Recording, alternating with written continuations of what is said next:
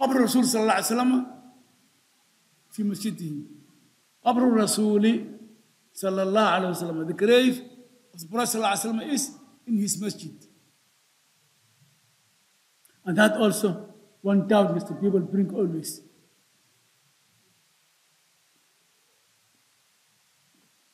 العثيمين عثيمين سيد في لقاء الباب المفتوح in the open meeting of question and answers الصلاة في مسجد فيه قبر to pray in a masjid where there is a grave in the masjid على نوعين two types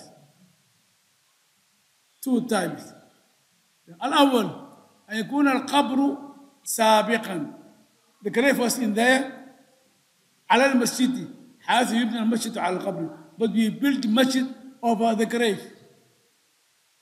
so originally there was grave and we built a masjid فالواجب هجر هذا المسجد it is compulsory to keep away from this masjid وعدم الصلاة فيه and we should not pray in that masjid وعلى من بناه those who build the mas- masjid over the graveyard upon them أن يه- أن يهدمه to demolish and knock down the masjid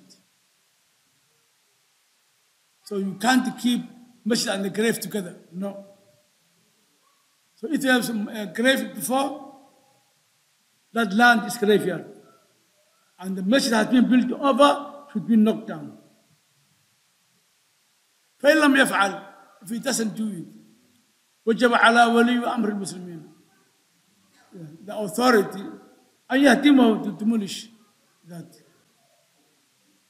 it's upon the authority to demolish that masjid understand the first point ثاني the other time أن يكون المسجد السابق على القبر masjid was in there but we brought someone and buried in the masjid حيث يدفن الميت فيه he buried someone in the masjid بعد بناء المسجد after the masjid existed so which one was first now the masjid so we brought the grave we brought deceased person and graved him in the masjid فالواجب is واجب upon us نبش القبر yeah.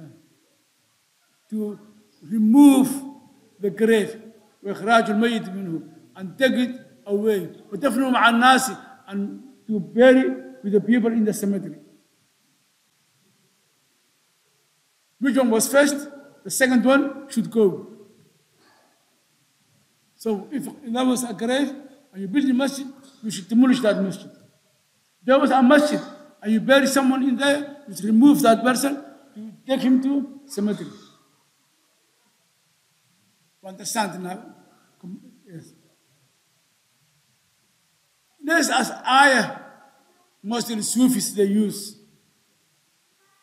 Ashab al-Kahf When they found them and they died, الذين غلبوا على أمرهم.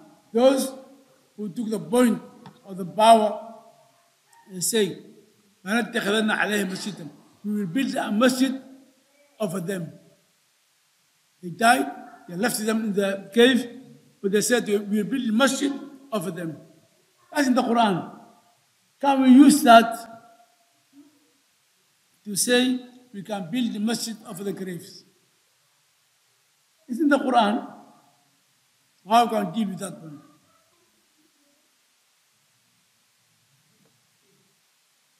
Tafsir Ibn Kathir, who died 774, said, هل هم محمودون في ذلك?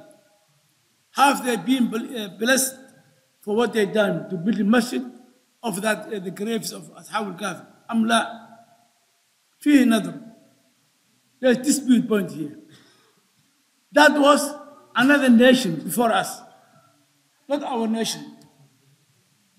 And our nation has been governed by the Prophet ﷺ. The Prophet says, they were right. That means we should bury the people in our masjids.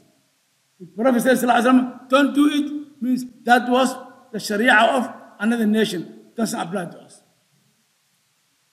And Nabi Sallallahu Alaihi Wasallam قال لعن الله اليهود والنصارى. May Allah curse upon the Jews and Christians. اتخذوا قبور أنبيائهم.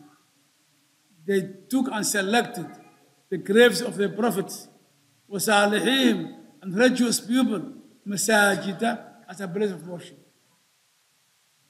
That's number one. Why Prophet cursing them? But what they done was wrong. Also in the Quran, what they done was wrong. Quran didn't say they done something good or they done something bad.